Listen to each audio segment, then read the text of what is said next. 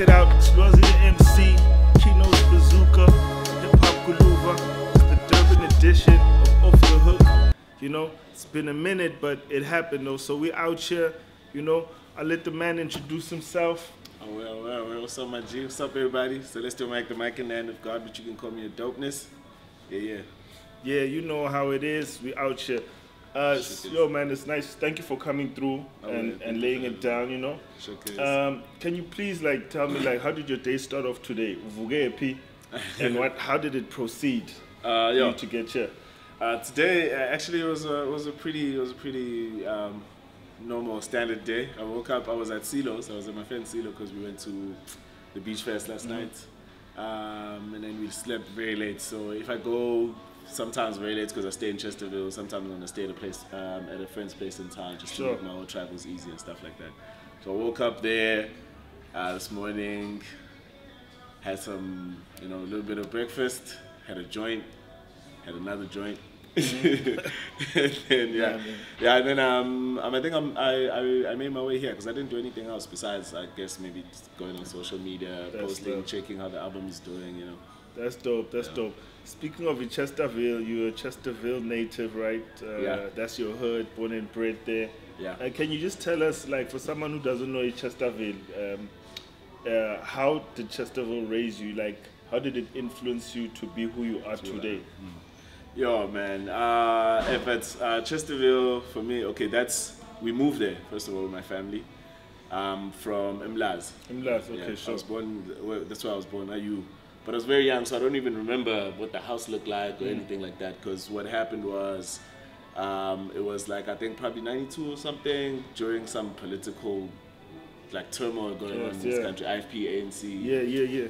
had that beef going on. So um, a lot of families were victims, like weren't even in the politi- into politics, and politics, stuff. So my family sure. was one of those families. So the house was burnt down and shit. And then we had to move to Chesterville.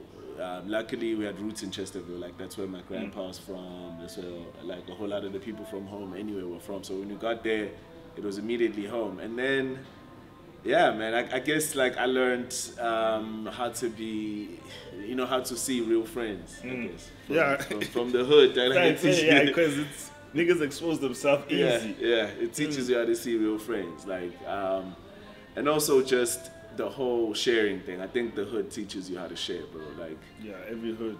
It's, yeah, it's a we live we live very much close knit. As much as there, there may be beef and all of that stuff, but the way things happen, like in the hood, bro. If if I woke if I woke up today and I didn't have weed, and I wanted weed, I was still gonna smoke Mm. because there's a guy next door or guy down the road. Oh, no, you're not It- it- exactly, he's got it. It's about three of them sitting there, all smoking together, Mm. probably the whole day. There's just sharing with, with we share sugar, we share things like you don't have an onion you want to cook. You know what I mean? You can go to the neighbor and get an onion. So I think that's one of the things that I love most about growing up from there. And I, I don't think it's exclusively Chesterville. Probably, I, it's it's probably a hood thing everywhere. you Yeah, know? do about omnyama, Yeah, yeah. even though we have our little issues, but Yeah, get to the point where we can help yeah, each other, yeah. the greeting, like greeting people on a on a normal daily Even basis. salt, just run out of salt Right, run out of salt, you can get it next thing. door, right. So hip hop, how did how how was hip How hop did hip hop get in in there? in yeah Chesterville? The influence I know obviously there's also mainstream TV, Sure, sure, but also at that time because I'd assume there was a lot of kwaito and Definitely, hip hop. And how was it? How how was the hood influenced by those genres? Yeah, oh, bro. For me, um, obviously mainstream, you know, TV, radio, that's the first um, place you, you, you hear it from. For me, it was my uncle used to love hip hop as well, but he wasn't like into it, just it like like I am. But he actually loved hip hop. He used to play like get Grammy. Um, there was the Grammy hip hop compilation, get things like that. He used to have like Heavy D and Soul for Real back in the day, you know. So I started hearing it from him, and then my brother was into it, but uh, but they had a Kwaito crew as well, so they were doing both. Like they were doing Kwaito and they were, and they were rapping as well. I didn't like their Kwaito shit, Yeah. but when they were rapping, I was like, okay, this is cool, you know. So then I I started rapping as well. Um, following them, but then I just ran with it. I met uh, people like Mike G. Yeah. Um, ooh, Oh, Mike G, boy, sure, yeah, sure, yeah, sure, Yeah, because he's from G. Chesterville. Like that's one of the first people I met, like in hip hop. You know, what I mean? Yes. besides my friend Candice Major and all that, because we were all the same age. But we actually were lucky enough to have older guys who had been rapping, like who'd been no hip hop, because I got most of my hip hop from them. There was him and a guy called Buddha Bless. Like dog, uh, my first MP3s, all of those things, where I got it from those dudes. So they're the ones who actually kind of groomed the hip hop in me. You know what I mean? Yeah. We used to freestyle with them and stuff. From when we barely knew how to freestyle to a point where we actually knew how to freestyle back Yeah. then. You know? That's So, yeah. lovely. I mean, I know there was a era, a time when, when I was still in Durban, when you were when you were krumping catch. you Yeah, know? yeah. Uh, I think the time of Run Durban. yeah, yeah. I think we did a thing with you at um, was it? Sprite. It was a. Sprite. Sprite Day, yeah. You Yeah. were doing some animation. shit. Yes, You came with flex at your yeah, Yeah, yeah. because we even um, there was a trip where it was going to uh, what Cape, Joburg and Cape Town. Yeah. But also there was yeah, they were, were, were, were around the scene at that yeah, point. the krump era. Yeah. So how did um like how did you get it influenced into getting into dance and krumping specifically? Because Yeah. I know it was big that time in Durban. Cats don't know how big yeah, it, was. it was. huge. It was huge. Um, for me, in anything that was hip hop, I liked it. You know what I mean? I used to play basketball. Mm. I did all of those things. Even breakdancing before krump was a thing. Like we started off trying to break dance. And then Krump just came into the scene, and we were just like, "Yo, what is this?" Yeah, dog. And we and we got into the wave, and then because we had like I always had this nerdy obsession with things. Like if I'm doing something, I always want to know like the technicalities of it. So that's what we did. it, to be good to at be really good to understand it. So that's what we did with Krump, and Krump was. I mean, Tadas was very big on that, like you know, having creating Krump into something that is that people can study and shit like that. So for us, that was great. Mm. Had all these videos, and then we started doing Sunday sessions, like because we were doing it out of church, bro. And we used to invite dudes to the church. We started teaching a whole lot of people in the city how to dance and stuff, how to krump properly and all that. Like it, it, it for us, it was a way of we just wanted to see better people dancing, but then it made us the guys, like you know what I'm saying at the time, because that was after Genesis, because Genesis were the guys who were running things for Yeah. a while, and then at some point there was a crew called Encore, there was Buck Kingdom, and then there was us, uh, Kingdom Radical. So Yes, we were, yes, we were all like. Because we started just sharing the information. Because the guys before us weren't sharing information. Mm. Like they were the stars. So cock blocking it. Yeah, yeah, oh, bruh. They were gatekeeping it so hard. For us, we were just like, man, we good at this, so let's tell So everybody else feel, how to be you good. don't feel Yeah. like You intimidated by yeah. a new kid who's gonna come and show me flames. Yeah. I think also Krump added a lot to my performance, bruh, now in rap. Like, because Krump was so, like, it was, as much as you had a crew, you had to go there by yourself. Mm. Everybody in the crew, so the crew was only as strong as their weakest link. Like, Yeah. if you lose a battle, then our crew has a loss. Yeah. Five of us won, you're the only guy who lost. You know, we It's were gonna loss. go there with Yeah. the 10 nil you gave us. 10-0, sure, sure, you know what I mean? So, like, it taught us how to play like character and things like because used to like as much as it was a physical dance, the face played a lot of work there. Sometimes you just stand there, do some because of the track. You have a facial expression, and the people are going crazy. And somebody who doesn't understand what's going on is like, Where's that? When's I looked at that? Why does the people going back? Because just stood there and did a face. But Mm. you know what I mean. So it like it added a lot to my to my to my performance now. I think that and the poetry as well. Dope. Um, at DT because we used to go to DT sessions as well. Like I was doing that around the same time, the krump and the poetry, all of it was Yeah. simultaneous.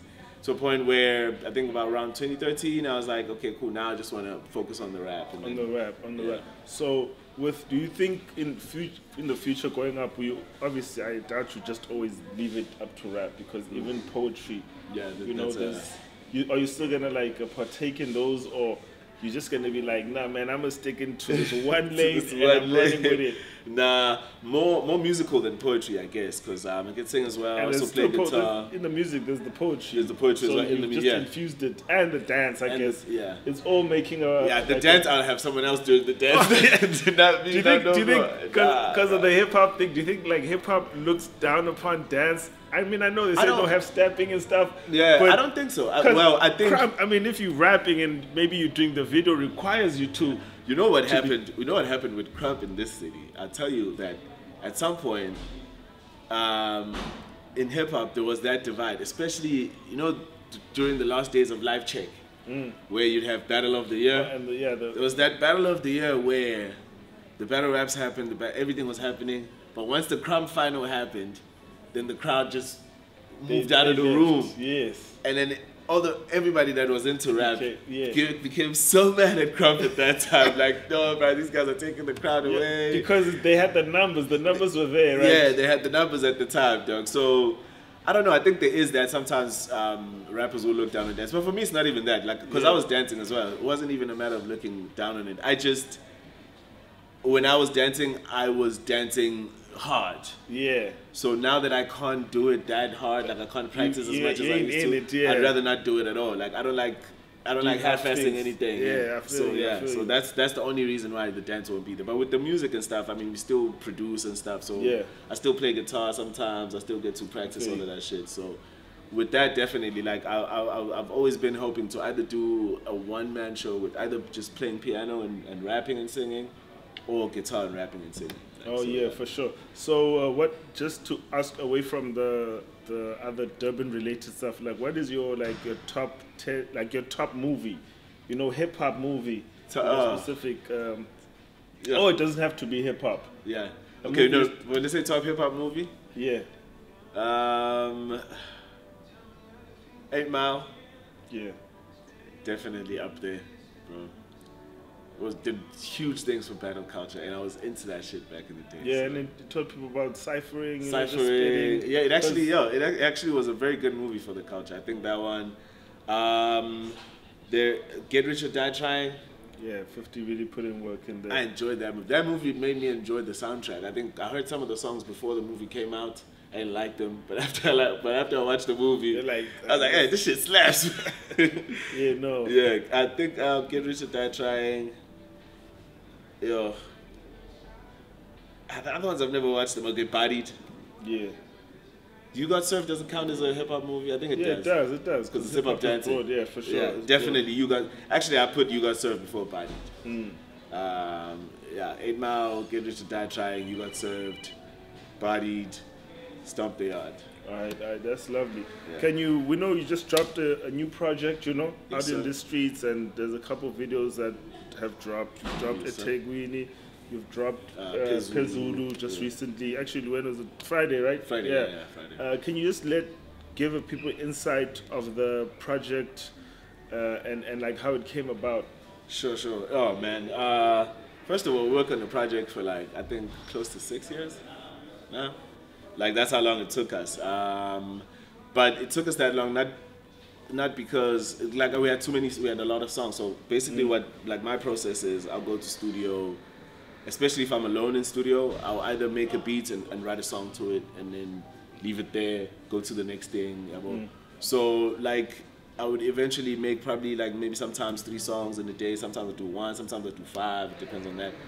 And then from all of those songs, like we were just trying to find what songs will fit into this narrative that we're trying to drive with the album. So that took us a while. Thekwini was one of the first ones we found. Um, and we dropped it. I mean, Thekwini dropped in 2019. Yes, yes. So- I saw, that's when I saw the video. Exactly. So from from Ithekwini, then we were like, okay, cool. Now we have a direction. And then I, I, I wrote all the other songs. Um, some of them were already recorded, because some of them were recorded before Ithekwini in the, in the album, but they you know they came out later. I, and then I think the last songs I wrote for it was the outro and the intro, because then we had the body. We were like, okay, we need something to put it inside, you know, like Fill the it in up in brackets and there, stuff, yeah, and stuff like that. So I wrote the outro first, um, and then I wrote the intro like just before we decided to drop the album and stuff like that. So, which the intro is funny enough is the one that people like the most, God Morning. Yeah. Like that's the that's the last song we wrote for the project. But that's I the mess with Fagimani. The beat is Fucking- hard. oh, bro, Kenneth It's like, yeah, on that one. that Kenneth Majors on that one. That beat is hard. What do you want people to take out from this project? Like what? Like if you listen to this project, what do you leave with? Like you know what I mean? Hmm, Uh, Like what do you leave with? Uh, hearing those bars and the musicality and music. everything. Yeah. Um, I I think for me, what I try to highlight the most when I when I make a song is is just I, I think what people can leave with is being true to themselves because what you're listening to is a guy who who's actually just speaking real life in his life, not trying to be fancy.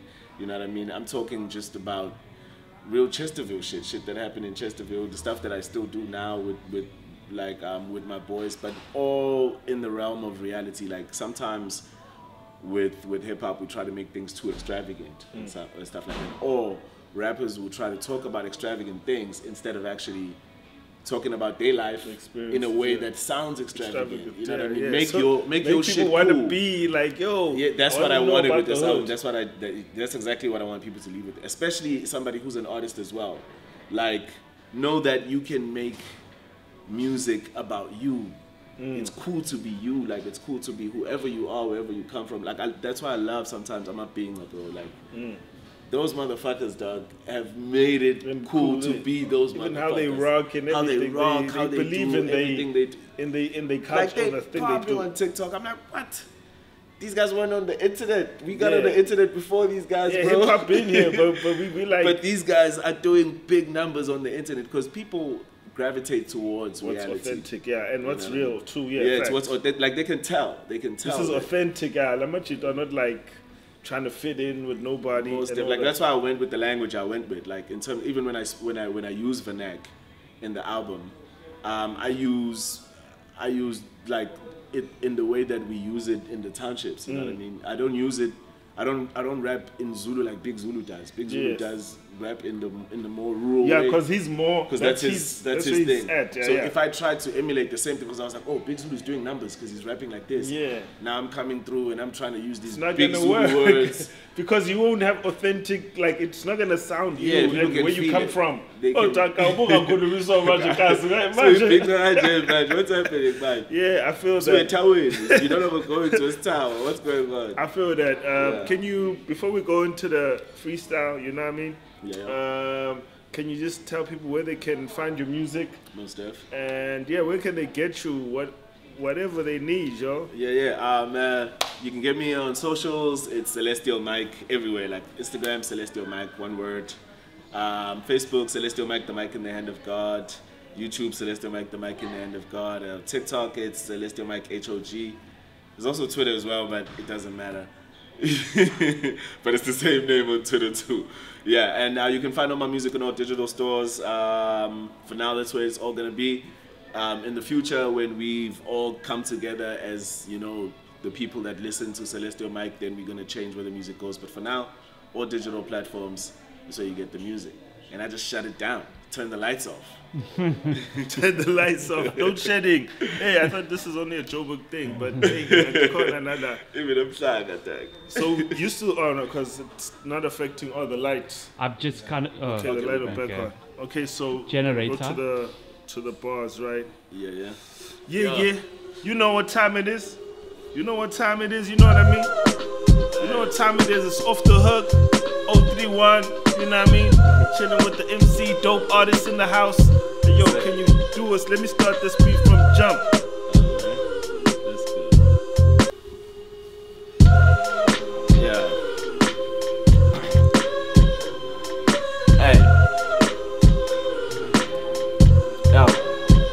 Uh. That's good. Yeah. Hey. Yo. Uh. Celestial, astro, the wizard astronomical, dopeness non-communicable, pathological, raps phenomenal, Get them high like eschatology. I love girls with good brain knowledge like neurology. I don't wanna talk unless we're talking numerology. Smoke to exercise my demons, self-demonology. Stealing the game like I study criminology. Piss on the internet, pissing off apologists. Niggas can't compete with me cause niggas is incompetent. I talk shit with no consequences, niggas is inconsequential. The Wizard of Oz, I got spells. You niggas drop bars, I drop cells. Celestial, still underground like hot hell. And the shit I'm smoking is louder than hot smells. That's not Asingajwayelani. We don't DJ with the vinyl, that's not asingajwayelani. Bonke babesixwaya manje, babesixwayelani. We gon' keep it going, we gon' keep it flying high. We gon' see him by and by. We mixing my move blind, we ain't seen eye to eye. Celestial, still the real purest kind of guy, yeah. Ooh, mm, you keep it going? Yeah. Had something in my head, bro. Yeah, you know, 031, he still got something in his head. Yo, I'm coming out like Malcolm X the Red. Yo, let it go, my man. Nande Tag Weenie. I got the man for dope artists, the mic in the hand of God. You know where the mic in the hand of God is. Let's keep it going from the top, planet like the Guardians. Yeah, begging your pardon. You know that this artist is the hardest. Got the bars in. Uh, Celestial always flow. The kind of guy you should always know. And if you don't, you should know it now. Yo, cause you know that the flow profound. All these sounds coming straight from the mind, straight from the dome. You know, straight to the line. Yes. Uh, yeah, yeah, you know what it is, man. Check it out. It's off the hook. We're out here in Durban. Yo, man, hip hop crazy. You see, we got dope talent out here. So, yo, stay tuned because there's a whole lot of more you're gonna see. This is just the beginning, man. This is the gateway to Durban. Coming in. Stay up. Peace.